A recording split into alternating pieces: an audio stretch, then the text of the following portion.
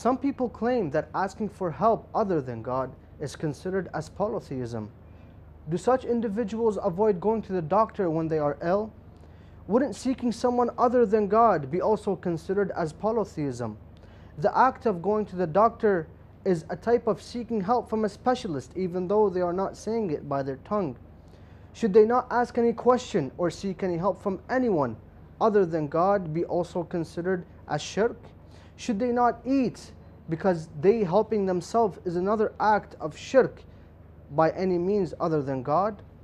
This is why and this is where the concept and the aspect of tawassul beseeching comes in place. Respected viewers, brothers and sisters in Islam, Assalamu alaikum wa rahmatullahi wa barakatuh. These questions will be answered in tonight's program as me and my dear guest Sayyid Ja'far Qazwini will tackle them and see why do some people misunderstand the concept of tawassul. So respected viewers, without further ado, let's welcome my dear guest Sayyid Ja'far Al-Qazwini. Assalamu alaikum Sayyidina. Assalamu alaikum How wa are you? Alhamdulillah. Alhamdulillah, hope you are well. Alhamdulillah. I'm very well. Thank you very much for Alameen. having Uh, me. Thank you very much for, for coming tonight. Sayyidina, this is a very controversial topic if you want to look at it. Some people uh, look at beseeching Allah through other means as shirk. And uh, uh, in some ways, it does become as shirk. And in other ways, when you do look at it in, in a different perspective, it's a way uh, or a means of reaching to Allah subhanahu wa ta'ala in different paths. So, uh, Sayyidina, what is tawassul? I mean, in other words, what does beseeching mean? What does it entail?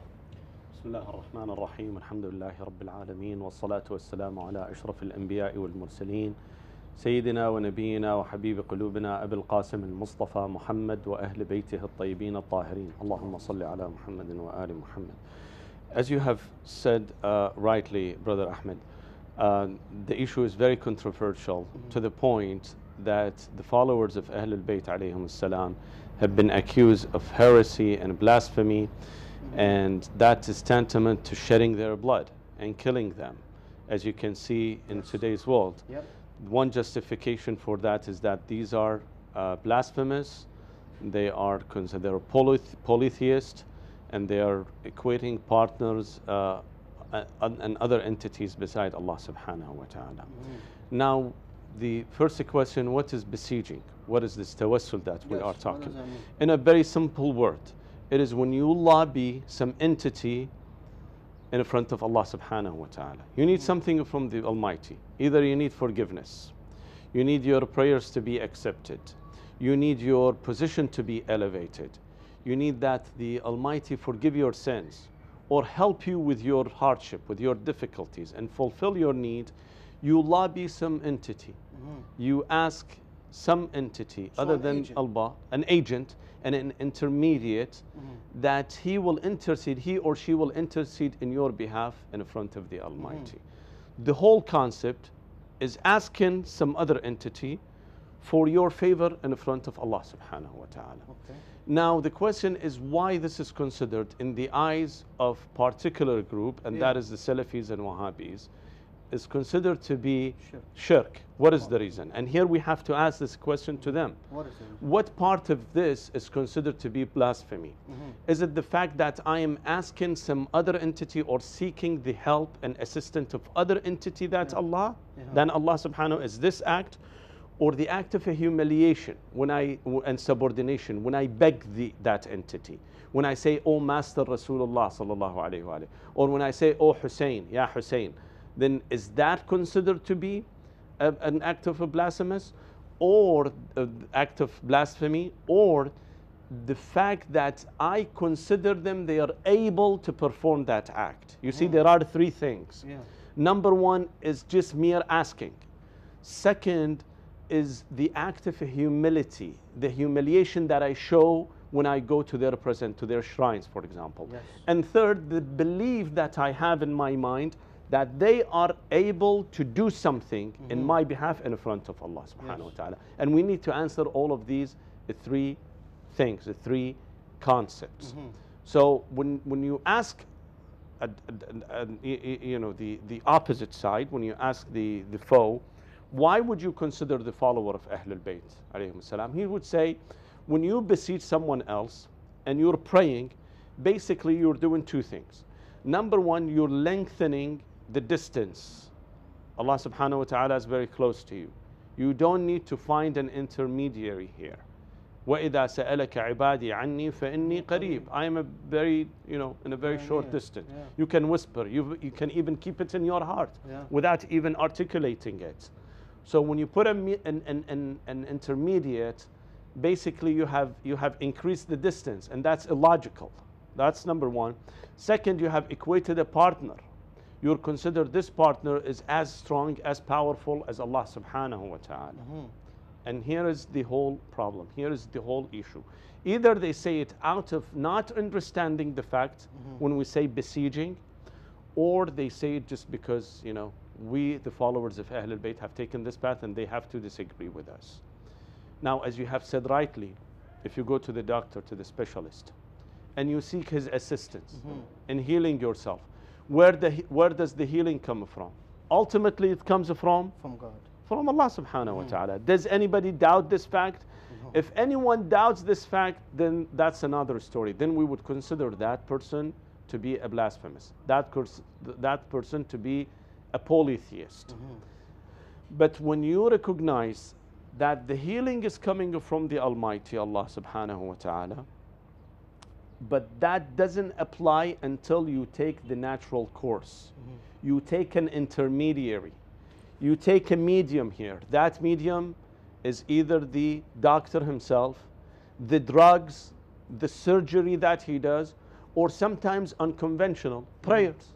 You pray to Allah subhanahu wa ta'ala for your healing.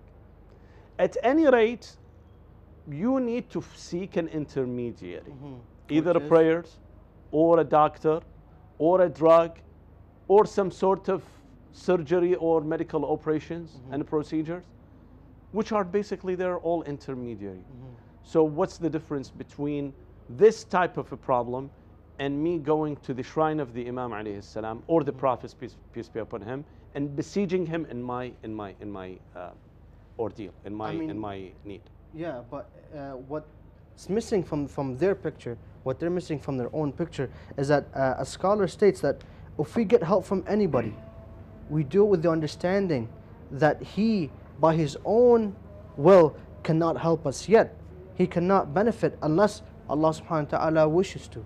How can you comment on that? Absolutely. We, what we believe in that there is no entity that can be parallel to the Almighty Allah mm-hmm. subhanahu wa ta'ala. Whether the Prophet or the Imam or any other entity. Mm-hmm. They do not act by themselves.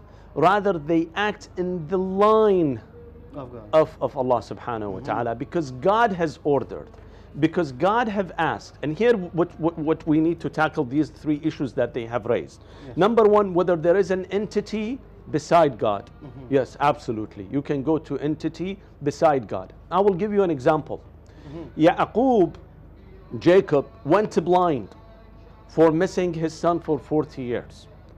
Now, when Yusuf found his brothers, or they found him, and they were returning back to Canaan, what did Yusuf give them as a healing agent to their father? Was a piece of a cloth, Piece of cloth the shirt. his shirt. Yeah. He asked them, Take my shirt and bring it to my father. My father will come, you know, with farsight. With, with, with- he, he, he, he, will, will he will he will re- return his, you know, he will regain his, his vision again. A piece of a cloth, a shirt had become, you know, an agent here, A an of- agent of- of healing. of healing. Why? Because it was with the order of Allah subhanahu Definitely. wa ta'ala. Because it was in the line of the command of Allah because this is what He has permitted. Mm -hmm. Now, if Yusuf, God forbid, has done this in front of the Wahhabis and the Salafis, they would consider him billah, blasphemous and a polytheist. Yeah. Luckily, he didn't exist at, and they didn't exist at that time. You see, that's, that, that's the whole issue. That's Why? Issue. Because he went to something. Have you ever heard an ophthalmologist mm -hmm. cure people's eye with a piece of a cloth? No. But Allah subhanahu wa ta'ala, with His will, definitely. He will put the strength and the ability of healing in that agent, which Mm-hmm. is piece of a cloth. Which is more important? Which has more value? A piece of a cloth or someone like the Prophet, peace be upon him? Someone that God you know, is considering Prophet is the best of all creature. Mhm. Who has more value in the front of Allah subhanahu? Obviously, the Prophet. The You know, Prophet. I mean, it's, it's, it's, it's this no-brainer. You don't need to think question. about this one. So that's that's number one. Second, they tell you the act of humility. Mhm. When you go and weep and you cry, or you kiss the, f- the, the doorstep of the Imam and you kiss the shrine of the Imam, this showing the act of humiliation. They tell you this is haram. I tell them beautiful. Let's go back again to the ayat, to the verses When you say humility, you mean dhul. In Arabic means dhul. Mhm. Allah subhanahu wa ta'ala tells you show a humility and dhul to your parents. Allah. واخفض لهما جناح الذل من الرحمة The lowest level of human. the lowest level of it I mean if you can go down and kiss their foot you better do it you Wow. cannot shout you cannot even give a very strange look to your parents always showing your humility and humbleness to your parents and this is narrated in the Holy Quran where is the problem again they will come and say Where is the it- problem? uh, I will come back to it just let me tackle the third issue then we'll come back and say where is the problem Mhm. the third one, they say whether he has the power or he doesn't have the power. Mhm. They tell you he may have the power when he's alive, but now he's dead. The Prophet is dead. He loses the, the power. We tell them in your prayers, in tashahhud, when you say, Assalamu alayka ayyuha nabiyyu wa rahmatullahi wa barakatuh when you salute the Prophet, does the Prophet listen to you or he doesn't listen to you? Does he? If he doesn't listen to you, then you're doing something just wasting your Out of the time ordinary. out of the ordinary. You're wasting your time for saying something that is wasted. You're saying Assalamu alaikum while he's while he's not hearing you. So why you do it at first place? If they say no, he listens to you, then he if he has the power to listen, he also has the power to intercede. Wow. I will give you a couple examples Mhm. the story that their sahih, their books, especially Bukhari and Muslim, talk about this. The story of establishing the five daily prayers. How did the five daily prayers happen? Mhm. What is the story? Yeah. They told they tell you that the Almighty has assigned 50 daily prayers for each Muslim by the Prophet. 50. 50. Now, who did intercede in our behalf? Who did intercede in our behalf? Who? It was Musa alayhi salam. On the day of Mi'raj, on the day of ascension, when the Prophet was ascended, you know, first he was he had Isra, Mhm. moved to Bayt al-Quds, Bayt al-Maqdis. In Bayt al-Maqdis, he performed the prayers while the prophets, the other prophets were behind him. No prophet at the time was alive. So what does it mean that all the prophet performed the prayer behind, behind him? Meaning their souls. Their bodies is dead, but their souls were alive. So they alive. performed prayers behind the prophets. So they were able to act. That's number one. Second, when he descend, when he ascended, he met the soul of Musa alayhi salam. Mhm. Moses told him, Wait, wait, Muhammad, stop. God has assigned 50 prayers for you. Tell your God that your nation is unable to do that. Of course, we don't buy this story, Wow. but, but we, we are holding, holding them responsible for, for, for, for this. wow. They would say that Musa alayhi salam Mhm. asked the prophet to bargain with God. So the prophet came and bargained. He said, uh, "Oh my Lord, you know my my people cannot perform 50 prayers." Then he said, "Okay, make it 10, or make it 20, some some number." Again, he comes back. Musa tell him, "No, doesn't work. Go back and tell him he's not. They're not able." He goes back again, and he tells him, you know, they're they're not able. He brings them to 10, then eventually to 5, and they settle on 5 daily prayers Really? meaning that Musa taught the prophets how to bargain or basically intercede in the behalf and while he was dead. So why was the prophet considered the best prophet if he's bargaining with God? That's another story that they I mean, that, that's another topic, but, but, what, that's what, but, but what we want to pinpoint here is that the fact that they believe somehow that Musa has interceded in behalf of the Muslim Ummah, Muslim nation, to reduce the number of prayers to five daily while he was dead. He was not alive at the time. So he had the power, he exerted the power. Then why someone like the Prophet cannot exert his power and help me with, with, with, with my needs, with my desires, and, uh, if, if I would ask? Now let's go back and talk w- about what, what is the problem. Mhm. Is, is- What is- is is the that problem? yeah? What, what I mean, what, why would they say this? What is what is their own problem? Mhm. You see, brother Ahmed, when they tell you that God is a close, absolutely, Allah Subhanahu wa Taala is a close to us. Mhm. وَنَحْنُ أَقْرَبُ إِلَيْهِ مِنْ حَبْلِ الْوَرِيدِ Allah subhanahu wa ta'ala is closer to us than our jugular veins. That's no question about that. This is a fact. Also, the Almighty has said, وَإِذَا سَأَلَكَ عِبَادِي عَنِّي فإني قريب. فإني قريب I am very close to human. So basically, you don't need to ask. But what are they missing? Allah subhanahu wa ta'ala is close to us. But are we close to Him? Why do they say this? Because they are anthropomorphists, which means that they give physical attribute to Allah subhanahu wa ta'ala. Let me demonstrate this. I am closer to you, I'm close to you, therefore you close to me. This is a, a vice versa relationship. Yeah. Why? Because you're a physical body and I am a physical body the, the, the more I move toward, toward left, the closer I become to you. Why? Because you're a physical body. You have appearance. You have this body, and the more I move toward the le- left, the closer I get to you. Mhm. The same thing with God. Wow. If God is so close to me, then it must be that I'm also close to Him.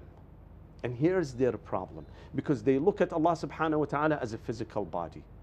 They don't look at this closeness, this proximity, as a spiritual. spiritual proximity. Wow. You put an alim, a scholar, Albert Einstein, Mhm. with someone who's a laborer, Wow. Who's illiterate. Put them next to each other. Are they close to each other? They may sit next to each other, but their worlds in difference. This guy in east, this guy in west. There is no comparison between the two. When Allah subhanahu wa ta'ala is close to me and to you, mm-hmm. and there is no doubt about that, does that also means that I am and you are closer to him? No, doesn't mean that we're. I can give you an example. The president of the country, at any moment, can summon anyone in his country, summon any citizen. The president of the United States can ask the authorities, the police department, the CIA, the FBI to bring anyone and interrogate them. Mhm. But can that citizen see the president at any time that he wants? Cannot. Cannot. Therefore, you need to reach a closeness, and that's the spiritual closeness. Mhm. Therefore, you need to have an intermediary. Basically, Brother Ahmed, for every single act, there are three components. One is the cause of the action, second is the subject, where the action takes place on. Mhm. The third one is the intermediary. I can give you a few examples. Look at the light, the bulb. Mhm. This bulb is, the light is on because there is an electricity. The electricity is the cause of light, right? We, the subject, we see the light. But the condition is that in this bulb, there must be a tiny wire that hooks this side of The the, bulb with this one. This is the intermediary. If you cut this wire, no matter how much electricity you, you generate and pour in this bulb, it doesn't work. Why? Mm. Because there is an intermediary. Wow. You need to fix this intermediary. You need to put this one. Assume fire. Fire is a burning agent. Mhm. You place this paper on fire, it will set on fire. Mhm. Now, the cause of burning is fire. The subject that is get fired is this paper, but the condition is that you needed to get it close. You keep the fire here, you keep the paper here. Does it burn it? No. You need to bring them closer to Him. They bring them to, together. When you bring them together, this gets burned. Mm -hmm. Even Allah subhanahu wa ta'ala. Who's the one who take our lives away? Allah. Allah. Allah yatawaffa al-anfus hina mawtih. When the time is ripe, we all die. By whom? By the Almighty. But some But then people say Allah no, no. subhanahu wa ta'ala, no, He Himself in the Holy Quran says, قُلْ يَتَوَفَّاكُم مَلَكُ الْمَوْتِ الَّذِي وَكَّلَ بِكُم. He put an agent here, put an intermediary, intermediary, so him go and revoke this person's life. Is that considered shirk as well? If somebody says Malakul Maut came and took my life, is he making a shirk? Allah subhanahu wa ta'ala is saying this. Yeah. And that's You very see. interesting. I mean, very, very interesting. But Sayyidina, I would like to mention something before we go into a short break, is that you've mentioned various interesting points and, and key points uh, within your speech. But you've mentioned one that uh, really caught me, is that uh, in the Holy Quran, Allah subhanahu wa ta'ala speaks to Prophet Muhammad. He says, you mentioned the verse, the holy verse. He says, "And when my when my servants ask you concerning me, indeed I am near. I respond to the invocation of the supplicant when he calls upon me." I'm going to ask you the question, but we'll answer inshallah after the short break. If God is so near, why do we have to use other agents, other intermediary, intermediaries, agents, uh, the prophets, the imams, to get close to Allah subhanahu wa ta'ala? So we'll answer that after the short break. So respected viewers, stay tuned because this is very interesting. I mean, uh, we. Uh, the episode has become very interesting, uh, revolving around why do we have to supplicate, uh, or sorry, why do we have to use agents to get closer to Allah subhanahu wa ta'ala if Allah states in the Holy Quran that He is near. So this will be after the break. علي علي علي علي مولاي يا علي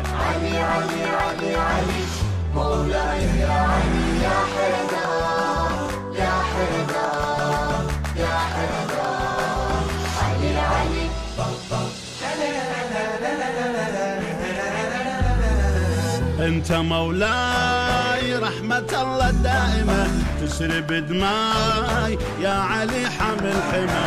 فرحتك هاي عالشفاه الباسمة. هذا عيد بدم وريدي خطت ايدي يا هلا بحيدر ساقي الكوثر ساقي الكوثر يا هلا بحيدر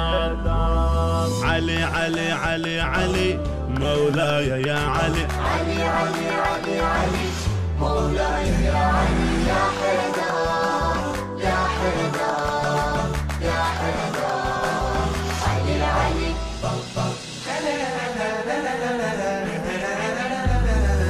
وانت وامتعناه واغلى من ضي النظر. تذهب سماي قمر يا فارس مضر. وانت رجواي بالشدايد وتحضر. انت ضخر بدم تسري وهذا عمر بدربك تنثر. فدوى يا حيدر فدوى يا حيدر. دربك تنثر. علي علي علي علي. مولاي يا علي. علي علي علي علي. مولاي يا علي يا حيدر.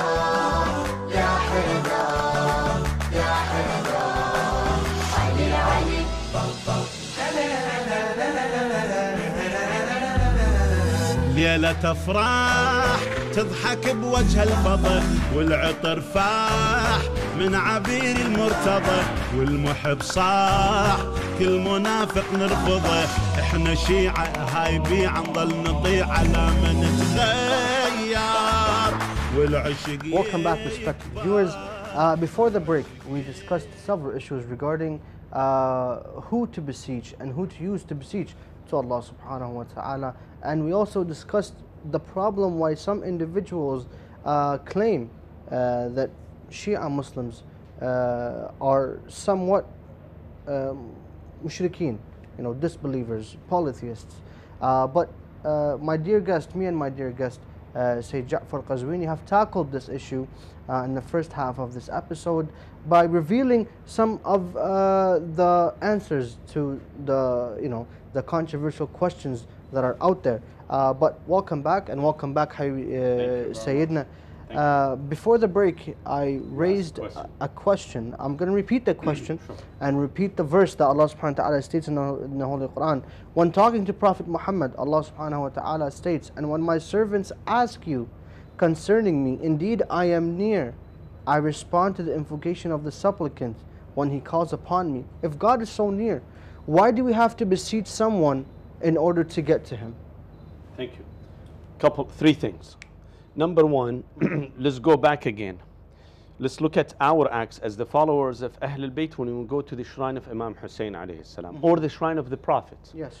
When we go and beseech the Prophet and we pray, do we keep in mind that we are praying to the Almighty, but through Him or no? Mm-hmm. Or we consider Him as an independent? If we consider the Prophet or Imam Hussein alayhi salam or any other person as an independent, this is shirk Yeah. meaning that they independently, without the will of Allah subhanahu wa ta'ala and the permission of God, they act upon our needs and fix them. This is considered to be shirk. Mm-hmm. But when we go, we have in mind that they are close to Allah and we are asking the Almighty through them. Meaning that I am going to Allah, but through them. Is this clear now? Is, Yes. is, is, is, is this clear? Mm-hmm. Basically, when I say, Oh, the Prophet, help me, for example, with my sickness, basically I am saying, Oh, the Prophet, help my situation in front of your Lord, the Allah subhanahu wa ta'ala, to help cure my sickness. This is what I meant. This so is basically. a stage of intercession It's between. only, but but I am asking the Almighty, but but through Through. through the Prophet. Keep this in mind. Yes. Go back to this ayah. What does the ayah says?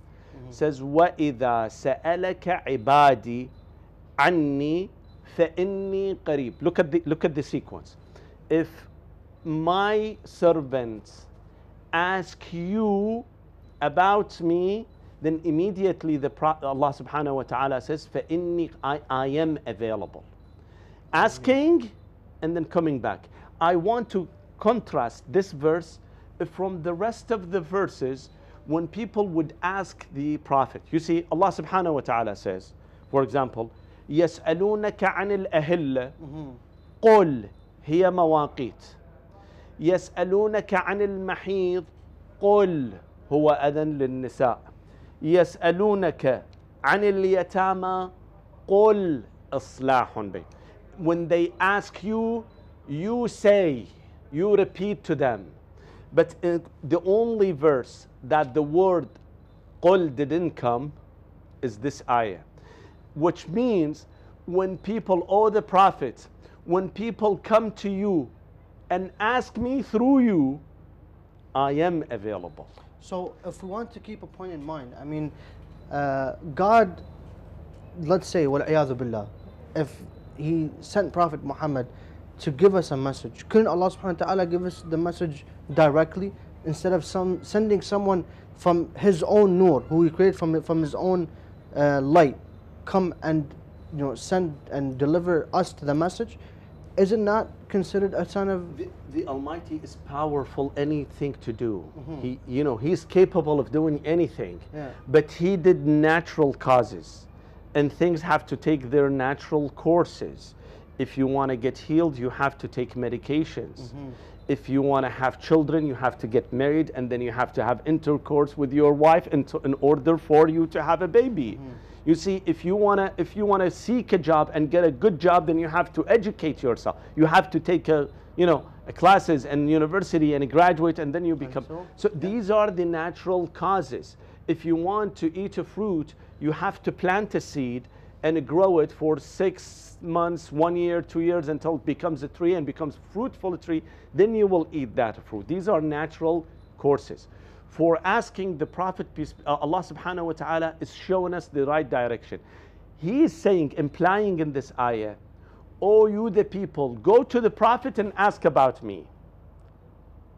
Do, do- do- Yes. do you see the point? وَإِذَا سَأَلَكَ عِبَادِي عَنِّي He didn't tell, tell him, go tell them. Immediately he says, فَإِنِّي قَرِيب Meaning when they come and ask you the Prophet, will say, Oh Muhammad, oh the Prophet, intercede in our, in our behalf in front of Allah. I am available. I am here. You see the catch? Still, it is within the Prophet, within the Imams, within those entities that Allah subhanahu wa ta'ala. Yes, the Almighty is close. It's definitely close. But remember, you need to have this intermediary. The intermediary is always there. Even when you worship, when, when, when you whisper, you say, Oh God, help me. Allah subhanahu wa Now, assume a stranger, a stranger come and ask for a favor from you. You don't know him. You may help him or you may not. But if your father comes and tell him, this is my friend, Oh, yes. Your cousin comes and say, you know, I know this guy. This is a nice guy, decent guy. Wouldn't help? Wouldn't Yeah. that help? It's the same manner. Allah subhanahu wa ta'ala knows us. There is no question for, for us being strange to Allah.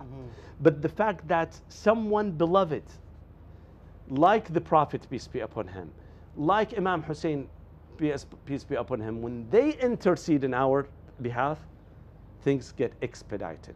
Now I give you a couple examples in the in the Holy Quran. Allah subhanahu wa ta'ala says, وَلَوْ إِنَّهُمْ إِذ ظَلَمُوا أَنفُسَهُمْ جَاءُوكَ You the Prophet, جاءوك فاستغفر فاستغفروا الله واستغفر لهم الرسول لوجدوا الله توابا رحيما When they want to repent, they come to you, the Prophet, they ask for forgiveness, and you, the Prophet, ask for forgiveness, then God will forgive them.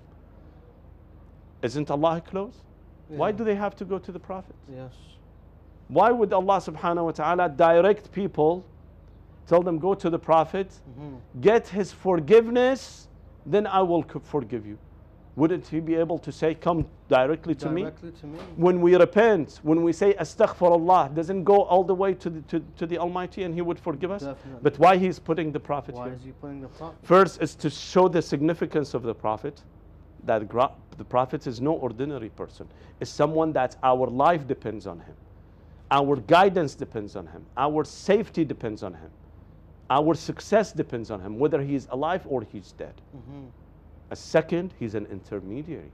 He takes us close to Allah subhanahu wa ta'ala. The, the Almighty, and it- this, is, this is a very weak example, but if we want to demonstrate, to demonstrate it, it's like a lieutenant and a captain. The captain is on the top. The comrades, the Lieutenant, basic yeah. soldiers, they go to the tu- lieutenant. The lieutenant will send the message to the captain, and the captain will accept it. This is how it is. Mm-hmm. In, the, in the Almighty system, it works this way. Not only that, about Ahlul Bayt alayhim salam. Mm-hmm. Who's more important, the Prophet or Ahlul Bayt? Or No, Hassan and Hussein? have to debate. Is there any is there any debate on this? Is there any question that the No. Prophet is more important? No. But look what the what Allah subhanahu wa ta'ala says.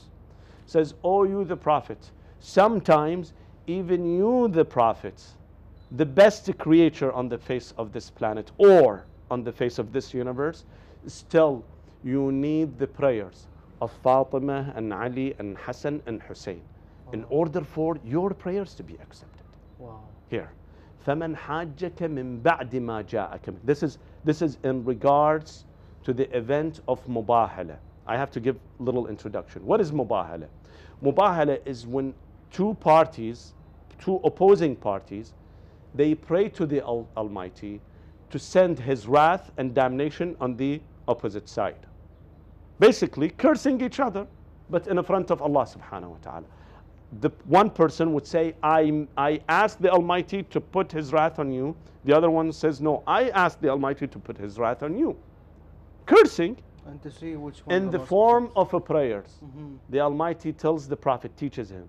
He says, in such incident, what do you need to do, the Prophet? فَمَنْ حَاجَّكَ مِنْ بَعْدِ مَا جَاءَكَ مِنَ الْعِلْمِ فَقُلْ تَعَالَوْا نَدْعُ أَبْنَاءَنَا وَأَبْنَاءَكُمْ You bring your children and I bring my own children.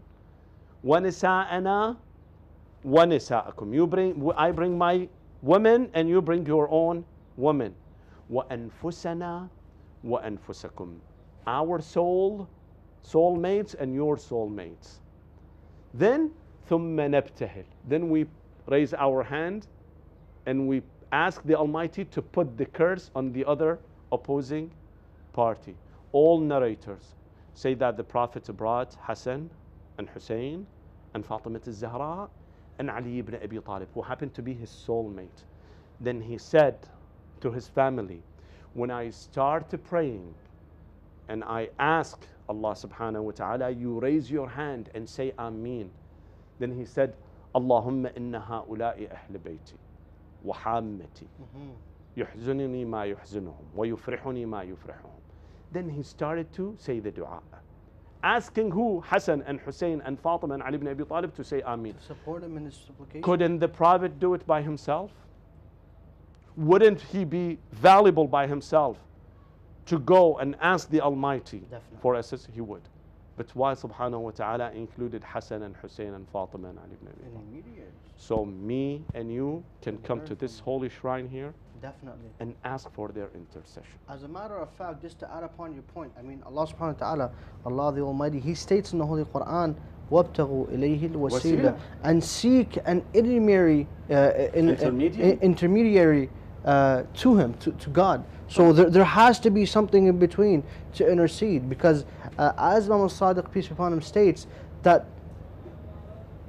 in, in a supplication is my sins have brought me further from Away. f- away from you to accept my, my supplications. So we need someone in the middle to intercede for us. So Allah subhanahu wa ta'ala can accept our prayers, can, you know, uh, basically help us and guide us uh, th- through this life. And, And- that, and that's what we need. And, and, and here we have to elaborate. You see, the problem is that people don't pay attention. Mm-hmm. This intermediary, sometimes a human being, sometimes an, uh, an object. Yeah. Sometimes it's, it's, it, it's a time, a specific time. Like Laylatul Qadr. On the day of destiny, on the night of destiny, night of Qadr, on regular nights you perform one prayer, you get this much of rewards. But on the same night of Al Qadr, night, the night of destiny, you do the same prayer, but you get the reward more than 1,000 thousand months performing that single prayer. For example, let's say that you you you you, you, get ten dollars reward for, for a single prayer, just just for the mm-hmm. heck of it.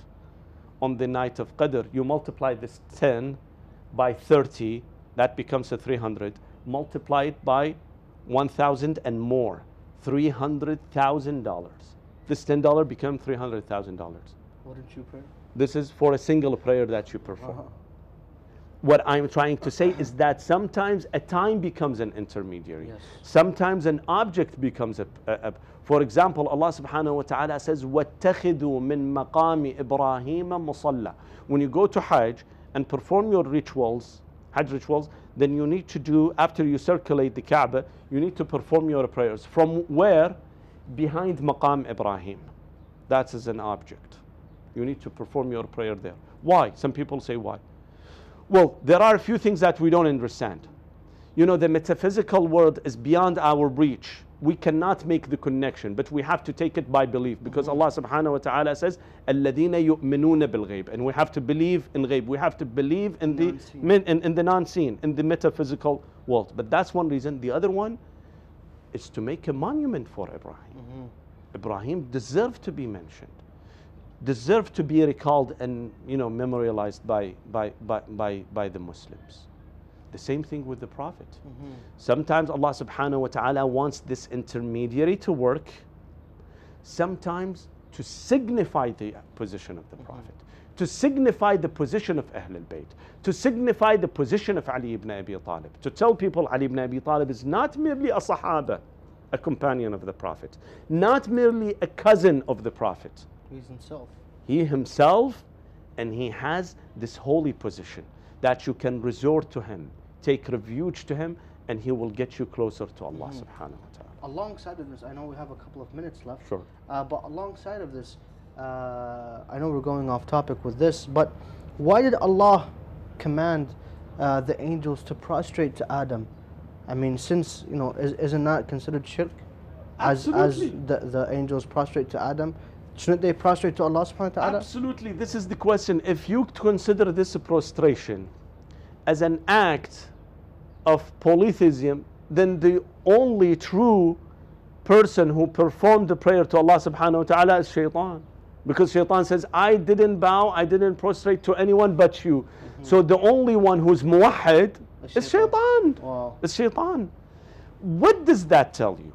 Tell you that I or you or the Salafi and Wahhabi or shaitan cannot create our own philosophy of worship. You have to follow.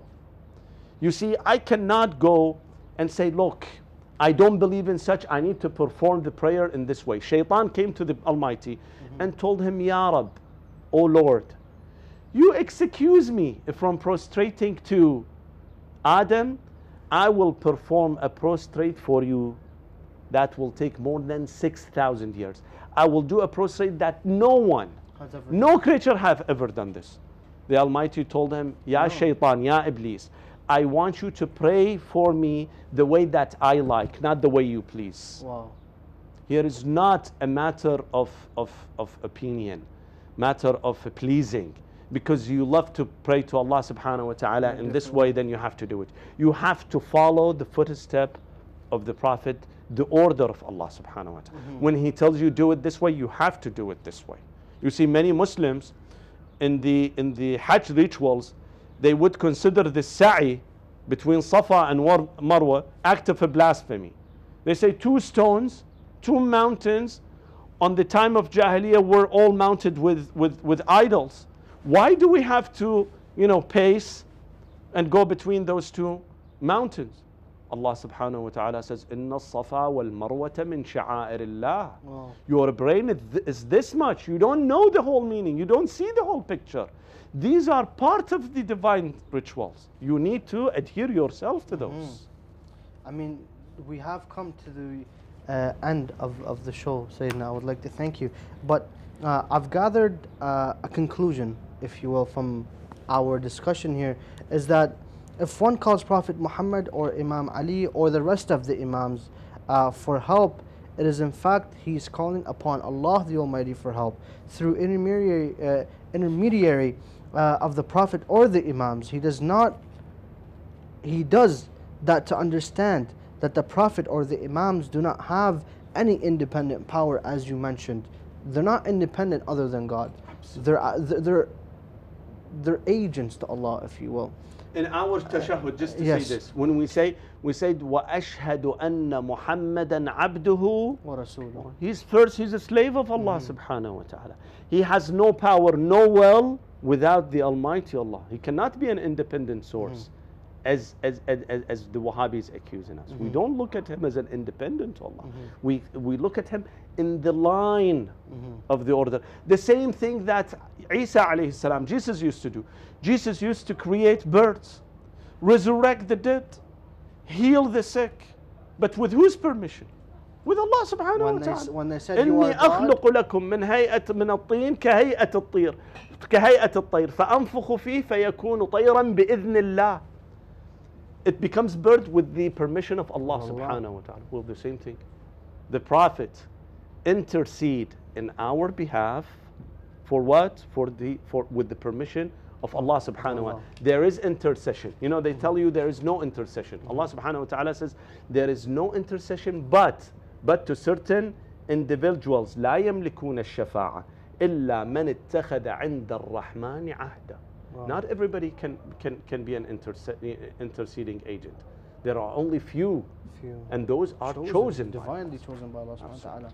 Thank you for concluding uh, the show. Uh, Sayyidina, thank you very much for joining us tonight. May Allah subhanahu wa ta'ala uh, accept uh, this, uh, whatever we have presented to Ahl Bayt alayhi salam, and to raise awareness to the, uh, I wouldn't consider them to be, you know, severely ignorant, but they, they are ignorant, the people who do not um, you know, understand the intercession of Prophet Muhammad and the Imams. Thank you very much once again for joining us. Respected viewers, thank you very much for joining us tonight. It is significant to touch upon these facts. And if you didn't get the chance to view uh, this episode and see why it is important to supplicate to Allah subhanahu wa ta'ala through the means of Ahlul Bayt for them to intercede for us on the day of judgment. So if you didn't get the chance to view this episode, it will be, uh, inshallah, uploaded to YouTube at Imam Hussein 3TV, or you can check out our Facebook page also at Imam Hussein 3TV. Wassalamu alaikum wa rahmatullahi wa barakatuh. Assalamu alaikum, Thank you very much.